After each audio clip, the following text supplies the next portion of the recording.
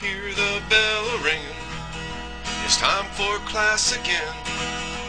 I won't see the sunshine till I don't know when. I've got brains and motivation for thinking critically.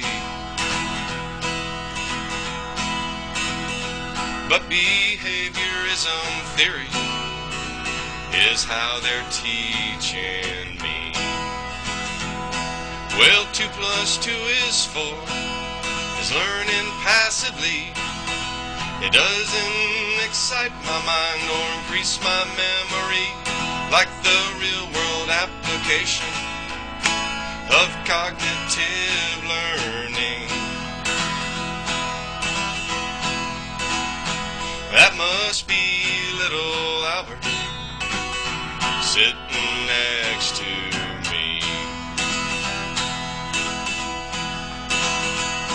Well, I bet there's teachers out there who teach by modeling, which helps a student reach a goal by guiding their learning.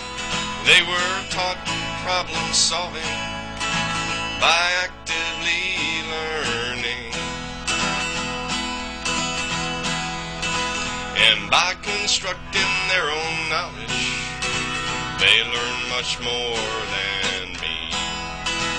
Well, if this prison, if I learned to use my mind, I'd bet I'd get along better farther down the line.